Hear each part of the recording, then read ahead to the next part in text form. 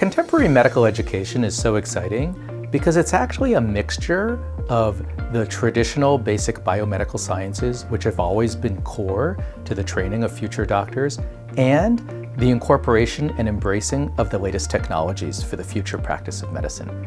At Harvard Medical School, just as two examples, in recent years, we have doubled down on the teaching of human anatomy, a centuries old science, which is so important to the practice of human medicine, and at the same time, we have developed new courses in generative artificial intelligence, which allow students to learn about large language models, which are going to play an increasingly important role in the future practice of healthcare.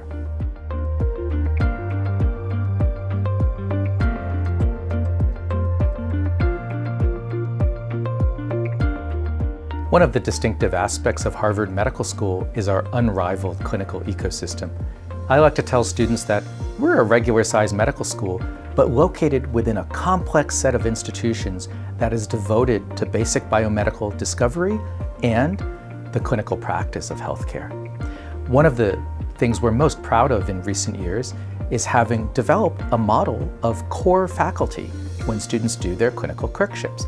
These are practicing doctors in our major hospitals who the medical school supports to get to know the students by meeting with them every week at the patient's bedside and tracking and following their longitudinal progress as they learn the clinical skills necessary to become doctors.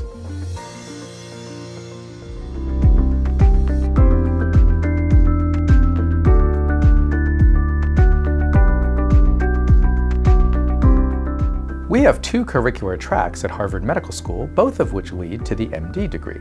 The first is the Pathways curriculum, which as the name suggests, allows students to choose, particularly in their later years, some of the specific paths they wish to take to round out their medical education experience.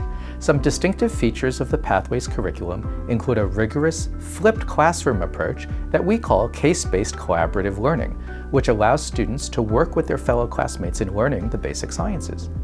After the core clerkship year, Pathway students can choose from a number of different electives and selectives as they tailor their experience to their particular interests. The other curricular track is Health Sciences and Technology, or HST. This 55-year-old program is a partnership between Harvard Medical School and the Massachusetts Institute of Technology. It allows students who are going to be the future physician scientists, physician engineers, and physician innovators to have a more quantitative focus to their classwork, and physician scientist mentors on our faculty continue to supervise these students as they progress through their clinical training.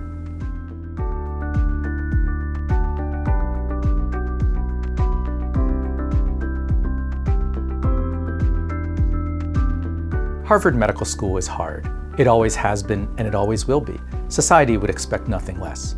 What I can promise our medical students, though, is that we provide the support and nurture that's necessary for each and every student to thrive and succeed through our rigorous and difficult educational experiences. That's what we need to do to help create the next generation of future successful doctors.